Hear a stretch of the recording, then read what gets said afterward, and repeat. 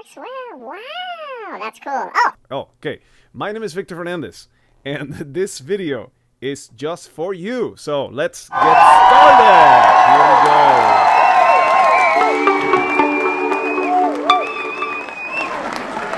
Okay, so when my account uh, uh, for YouTube reached 600 subscribers, I had this really cool idea in my mind that I would make a video showing every one of you friends out there, awesome, wonderful, fantastic people, what I was using here at home in order to live stream broadcast. And so on a previous video, you may have already seen this, hello, where I showed you my setup and all the stuff that I'm using. So what I was going to do on this one was show you, first of all, number one, I am almost about to hit 700 subscribers. And that's really cool because I never thought that it would, you know, keep, it just keeps climbing, which is really nice. So thank you. And so, and so what I have for you here is my gear. This video is about the gear that I am using and how I'm using it, and I'm gonna go through the whole list. So, with that being said, let's jump right into it. Here we go. Okay, so super fancy. Uh, my first piece of gear. Oh, I have it out of order, don't I? Ah, I've ruined it. Completely ruined it. Totally ruined it. Okay. okay, starting with the mouse. The mouse is a, a wireless mouse. You can see it right here. It's a Logitech G602. I ended up buying re- uh, rechargeable batteries because I just, you know, want to be green and all of that. So I have this really neat little battery charger here, which is actually mounted on a 3D printed. Oh, this video is coming out better than I thought. On a 3D printed charger holder for the wall that I designed myself on Thingiverse. Check out that website; it's amazing. I'll show it to you if I can grab this camera and travel to my wall. Aha! There it is. Okay, so I can put this here, right? I designed that on Thingiverse. I can share the model, and the batteries go right there. So I keep those batteries charged, and when my lovely G602 runs out of battery, I can just easily replace the batteries. So G602. Let's move on. The keyboard, which is a fantastic keyboard. Uh, I've been using it now for maybe two years. And recently, one of the keys switches started failing. So the advantage of a mechanical keyboard is that you can take that switch out and take the and replace the part. And so therefore, just one part at a time. And it ships with a few extras, which is very helpful. Lovely, lovely jubbly, lovely jubbly. Okay, that's I am, I, I heard that on YouTube, but I'm not British. Okay, all right. The headphones that I'm wearing, uh, these are the the Beyerdynamics DT770 Pro. They are fantastic studio headphones. They've got powerful bass, great, great uh, range, uh, very clear across all of the registers. I really enjoy them. They're not too punchy, but the bass has power. And for listening to music or even recording, they're awesome. The microphone that you see me using when I make these videos is this one, the PG81 by a company called Shure PG81. Very, very good microphone and then a very inexpensive microphone stand, which you can see right here. It's bolted to my desk. I'm revealing all the secrets. It's bolted to my desk right down there, and works so far. Works great. Can't really cannot complain with that. All right, so now let's get into the the audio, the uh, interface. Okay, so this is a analog to digital interface. And what that means is that it takes an analog signal from a microphone like this one and it converts it into a digital signal that goes uh, plugs into your computer via USB. I've I have that right under this camera, uh, mounted on 3D printed brackets that I actually got off Thingiverse. Check out that website, and I'll show it to you right here. So that is the audio interface. The brackets are down here. The lighting is not great, but I bet you I could turn on the flashlight on my phone and you could see it. Ta-da! Oh, that's so awesome. So awesome. Okay, great. And by the way, this shelf is also sitting on 3D printed brackets, as you can clearly see. I do have a 3D printer, which is back there. That will be another video that is not within the scope of this this video here.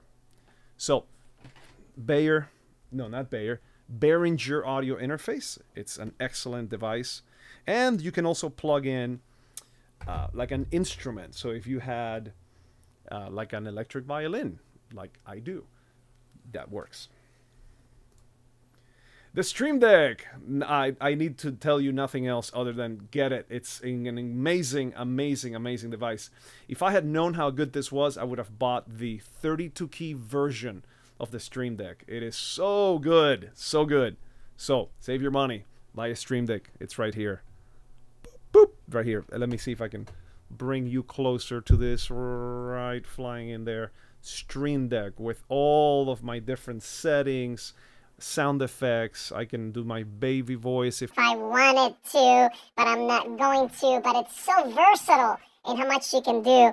And uh, just today, actually, I was able to learn how to set up some sound effects. So, like earlier when I did that clapping, and if I wanted to do anything else, I could, like, you know, stuff like that. Okay, great. I'm clearly still learning how to use this. So, uh, anyway, so moving on. Stream Deck, awesome, powerful tool. And by the way, I'm recording this video using OBS, which is on my main screen here. Okay, so OBS is phenomenal. Use it. Very, very easy to use. I learned on YouTube. If I can do it, anyone can. Okay. All right, so these are cool. Uh, these lights are by Philips Hue, and what they do is they change color depending on the game you're playing. So if I'm playing Minecraft and I'm in the Nether, the whole background lights up red. But at the same time, you can set like moods and like like turquoise and blue and make it look very pretty. I have those behind my monitor, right back, right back there, and I will show you. Let's take a tour. Here we go. Here we go. Ah, there they are. So that wood stand that you see down there, I built that with just some spare wood I had in the yard. They're sitting back there, and I can probably tell Alexa to change the color. This is an unscripted moment here. I can probably tell Alexa to change the color. Let me try that. Let's try that. Alexa, set backlights to red. And of course, that didn't work because the, the, the bridge was disconnected. Oh, if I turn this on, maybe it'll work. All right, we'll come back to that. Possibly we'll come back to that. Stop light sync. Aha! Will it work? Not now. Alexa, set backlights to red.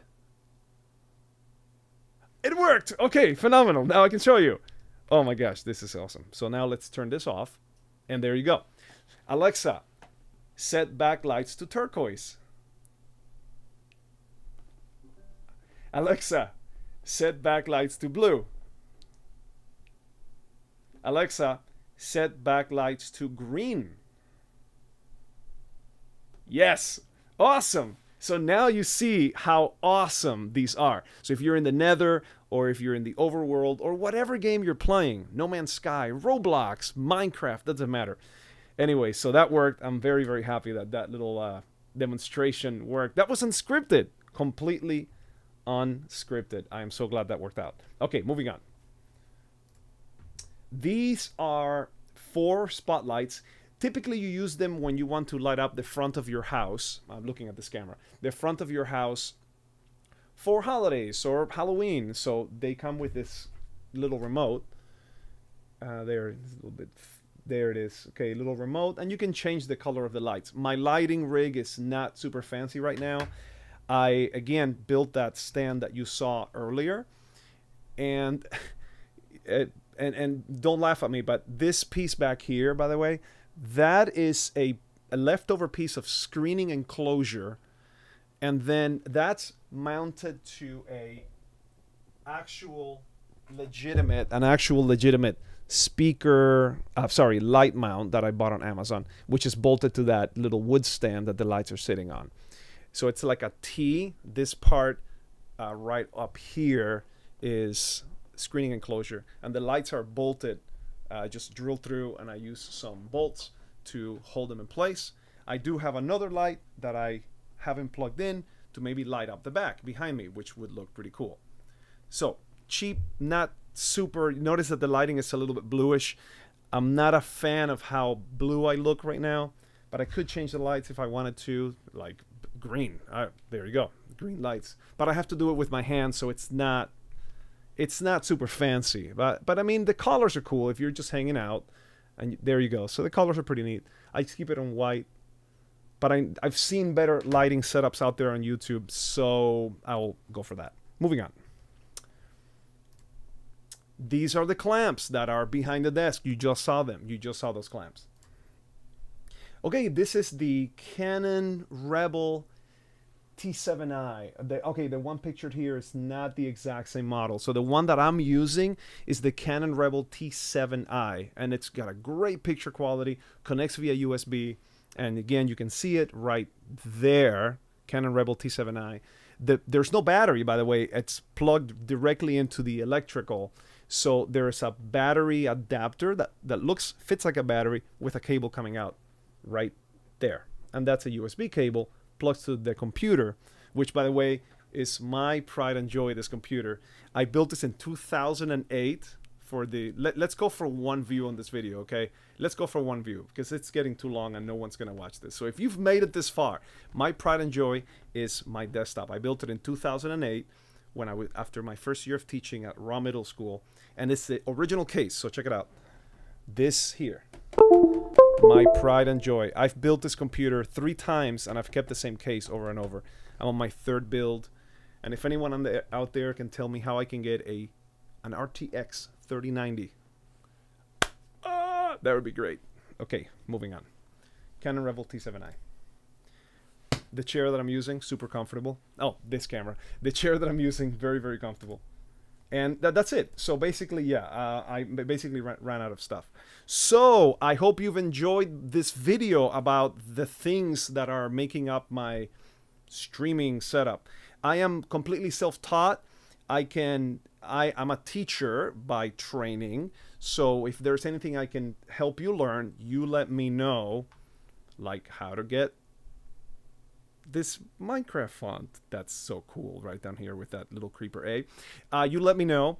I appreciate the almost 700 subs. Thank you. Thank you. I am so appreciative. And so, with that being said, I'm going to leave you with just a sound effect because why not? And uh, huge round of let's stop that. And so, thank you. See you guys uh, very, very soon.